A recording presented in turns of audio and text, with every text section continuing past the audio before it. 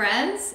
If you are waiting for these beautiful Thieves product line, the hand sanitizer and spray, to come back into stock, I have a little DIY I would like to share with you today to make your own while we wait. I just went to Target and got some travel bottles and I just poured some boiling hot water. I'll finish filling it up here um, to disinfect and sanitize those bottles and I'm gonna swish them around a little bit. I have my whisk in here as well to prepare um, all clean surfaces before we begin.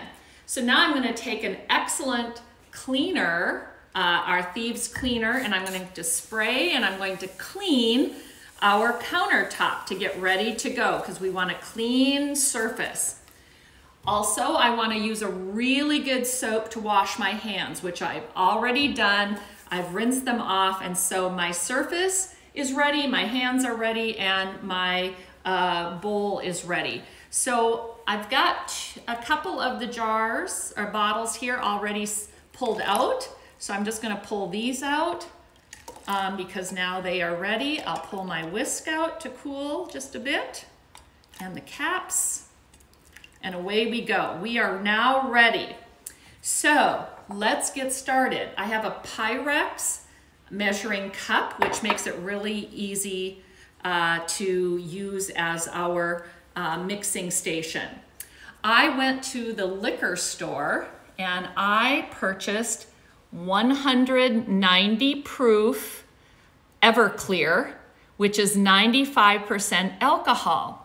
Now what's funny is people think that if you get some kind of liquor at 70%, that's going to be enough. It's not, and I'll tell you, tell you why.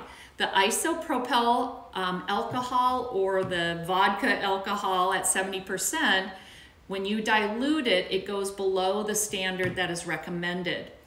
So when we looked at the World Health Organization recipe, they recommend an isopropyl alcohol at 99%.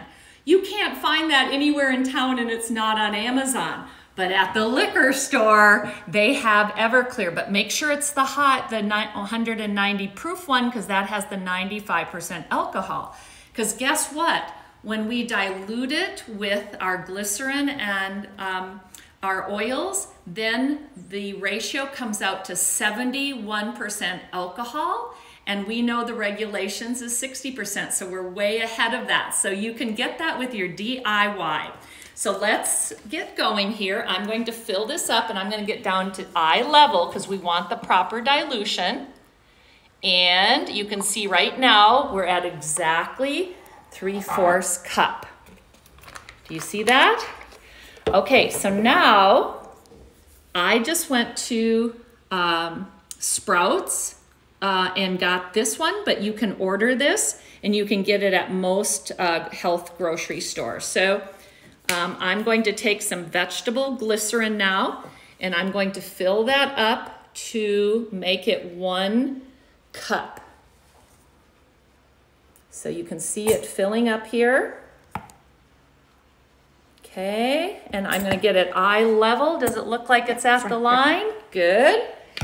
Now, here's another mistake people make. They add their oils, but guess what? Oils don't mix with uh, that, so they need a surfactant.